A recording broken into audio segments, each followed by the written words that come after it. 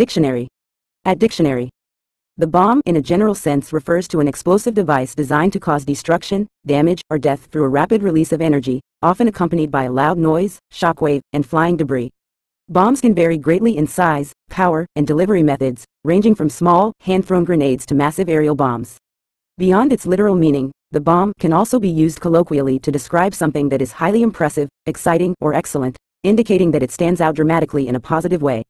The phrase captures both the destructive potential of explosives and the strong impact something remarkable can have in everyday language.